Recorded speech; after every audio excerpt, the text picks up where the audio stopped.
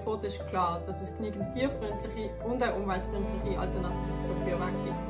Es ist darum nicht mehr zeitgemäß, Silvester mit lautem Feuerwerk auf Kosten der Tiere zu feiern.